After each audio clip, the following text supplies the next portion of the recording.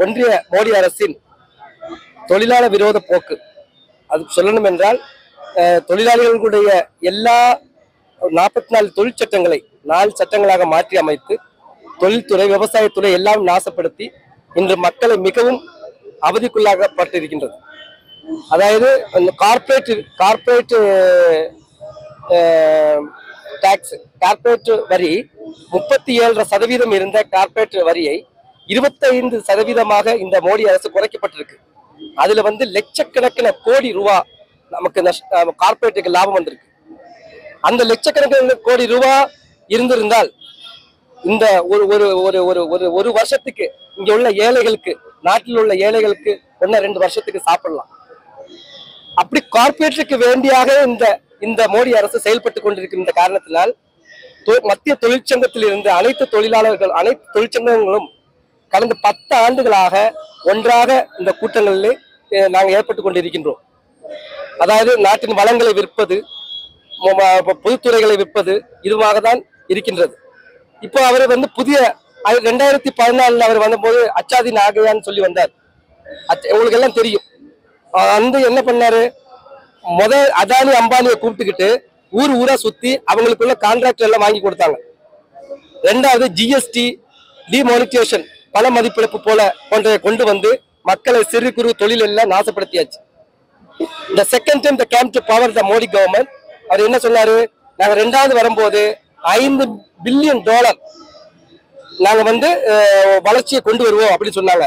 முதல்ல பதினேழு ச- பன்னெண்டு பதினேழு சதவீதம் இருந்த யூபிஏ கவர்மெண்ட் இருந்த இருக்க இருந்த போது இருந்த ஜிடிபி இப்போ வந்து நாலு சதவீதத்துக்குள்ள வந்துருச்சு. இவர் த்ரீ ஃபைவ் ட்ரில்லியன் டாலர் கொண்டு வருவேன்னு சொன்னது. இப்போ வந்து நாலு ஜிடிபி அதாவது பங்களாதேஷும் கீழே இருக்கு இந்தியா. அந்த அளவுக்கு நாட்டை வந்து சீர்கெடுத்தாச்சு. ரெண்டு இப்ப மூணாவது நாள் ஆட்சிக்கு வந்தால் இந்தியாவை மூணாவது வல்லரசு நாடாக கொண்டு வருவேன் சொல்றாரு. அப்ப நாடுமே இருக்காது இந்த வாட்டி. அதை உணர்ந்துதான் தொழிலாளர்கள் தொழிலாளர்கள் ஏன்னா ஏன் இந்த தொழிலாளர்கள் இப்ப நம்ம இறங்கி இருக்கணும்னு சொன்னால் இதை மறைப்பதற்காக மணிப்பூர் மாதிரி இப்ப கேரளாவில் கொண்டு வந்தாங்க. ஒரு இது நீங்க பார்த்திருப்பீங்க ஊடக மொழி அதே மாதிரி எல்லா நாட்டிலையும் அவங்க வந்து மத கலவரத்தையும் மத இதையும் தூண்டுறதுக்கு வேண்டி நிக்கிறாங்க. அந்த அளவுல இந்த தொழிலாளர்கள் அனைத்து இடத்திலும் ஒற்றுமையாக நின்று செயல்படவில்லை என்றால் இது வந்து ஒரு மனக்கலவரமாயிட்டு கொண்டு வரப்படும். அப்ப தொழிலாளர் சமூகம் இருந்தா மட்டும்தான் அதை தடுக்க முடியும். ஏன்னா ஒரு கலவரம் உண்டாகணும்னால் அது தொழிலாளர்கள் இருக்கிற இடத்துல தான் வரணும். அப்ப அந்த தொழிலாளர்கள் அனைத்து தொழிலாளர்களும் ஒன்றாக நின்று அதை முறியடிக்க வேண்டும். நாட்டை வந்து நம்மளுடைய நாட்டை வந்து நம்ம பாதுகாக்கக்கூடிய உத்தரவாதம் நமக்கு இருக்கு இது ஒரு அரசியல் கூட்டம் இல்லை. சாதாரண நீங்க அரசியல் கூட்டம் போல எல்லாம் பார்த்திருப்பீங்க. இது அரசியல் சம்பந்தப்பட்ட கூட்டம் இல்லை. இது தொழிலாளர் தொழில் சம்பந்தப்பட்ட கூட்டம்.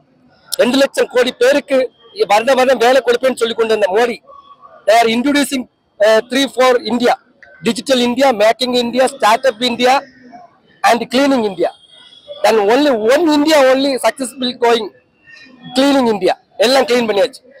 இனி ஒன்று ரெண்டு ஐட்டம் தான் இருக்கு க்ளீன் பண்ண அப்போ அதை மறக்க அதை மறைப்பதற்காக அவர்கள் இப்ப கொண்டு வரக்கூடிய ஆயுதம் என்னன்னு சொன்னால் பாசிசம் இந்த இந்த இதுதான் மதம் தான் அதே தமிழ்நாடை பொறுத்தவரை தமிழ்நாடு எல்லா எந்தெந்த மாநிலத்துல அவங்க அரசு இல்லாத மாநிலத்துல ஆட்சி பண்ணுதோ அந்த இடத்துல எல்லாம் கவர்னரை கொண்டு ஆளுநரை கொண்டு பிரச்சனை பண்றது. அந்த வகையில் தமிழ்நாட்டினுடைய ஆஹ், முதல்வர் மு க ஸ்டாலின் அவர்களுடைய ஆட்சி திராவிட மாடல் ஆட்சி நன்றாக நடந்து கொண்டிருக்கிறது.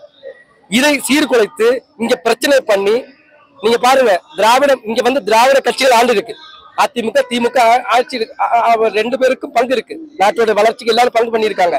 ஆனா இப்போ ஒரு ஒண்ணு இல்லாத இருக்கிற ஒரு அமைப்பு ஒரு கட்சி முதல்வரை பார்த்து நீ உங்களை நாங்க வந்து பார்த்து போய் முதல்வரை பார்த்து ஒரு ஒரு ஒரு ஒரு ஒரு ஒரு சேலஞ்ச் பண்றாங்கன்னா இந்த நாட்டோட அபகடம் எந்த அளவுக்கு பாசிசம் வளர்ந்திருக்கு இந்த உள்ள வந்திருக்குங்கிறத நம்ம அனைத்து திராவிட சிந்தாகதி உள்ள நம்மளோட அனைத்து மக்களும் நம்ம அனைத்து மக்களும் இதை உணர்ந்து இதை வந்து நம்ம இதை தடுப்பதற்குள்ளே நம்மளுடைய செய்தி உங்களை ஊடகத்துக்கு நமக்கு நமக்கு ஒரு ஒரு பொறுப்பு இருக்கு.